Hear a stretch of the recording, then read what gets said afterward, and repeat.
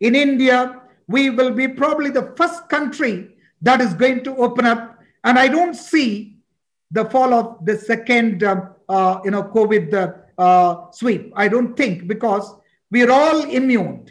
I sometimes feel that most of us would have got already corona and it has made us strong and gone even without we noticing that we had corona. I believe so because I remember some of our students also got corona, but there were no symptoms at all.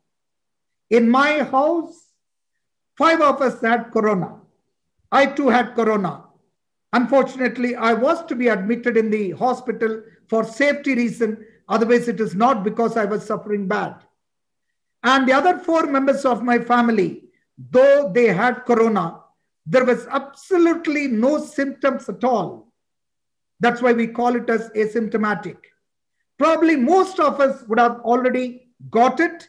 It is already gone. And once you have already got it, there are less, less chances of you getting once again. So that is one of the reason we might have all got herd immunity. I'm sure that you will understand what is herd immunity. India might have already developed herd immunity. That's one of the reason you can see a drastic drop in the corona cases. There was a time where every city was recording very huge number of cases. Today, it is not that they are not testing. Even if they test, most of us have turned out to be negative. The reason is we probably might have got herd immunity. Another thing, remember that we are people born tough. We are born tough. We will definitely survive this. It is not going to affect India much. Even if you see on the whole, the death, it is not too high compared to some of the countries. Smaller countries had larger death. On the other hand, the most clean countries had the worst cases. India was not that much affected. It goes to that because probably we are all land of religion. We pray God. God's hand would be more here, I think so. That's one of the reasons we were all saved. Another thing, as I talked to you last time, you have chosen the right kind of program. I want to repeat again this corona, this pandemic crisis has killed everything in the world the studies, the career, the job, the business, big and small.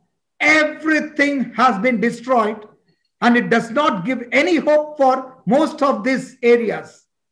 But it has raised up one curriculum, one career that is medicine. Medicine has become all the more in demand. It is going to really play a very, very key role in the coming days, in the coming years. You have chosen that field. You will have great deal of respect and also you will make this as a great career because this has got the highest demand and this is the need of this century. Since you have chosen this, you all become so important and so respectful because it is in the highest demand. So I would say you have chosen the right program and you have chosen the right school. That is more important. As you all know that the entire world medical schools outside India, when they appear for the screening exam, which is a mandatory exam to practice in India, you see the lowest percentage of passing grades. Out of 1,000, hardly sometimes 150 students pass, but the school that you have chosen, that is Davao Medical School, it has got not less than 80, 85 percentage of passing grades every time they appear for this examination conducted by our country.